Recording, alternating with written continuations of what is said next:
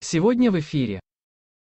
Каждое передаваемое медицинское подразделение в дальнейшем будет работать в статусе гражданского лечебно-профилактического учреждения с прикрепленным населением от 3 до 20 тысяч человек. В их числе будут и военнослужащие, и военные пенсионеры, члены их семей и местные жители. Что происходит в петербургских военных госпиталях, читайте здесь Минобороны сообщает, что сохранит при этом персонал лечебных учреждений и качество оказания медицинской помощи, говорится на сайте министерства.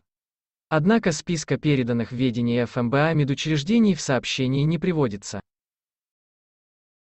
Здоровья вам! Ставьте лайк и подписывайтесь.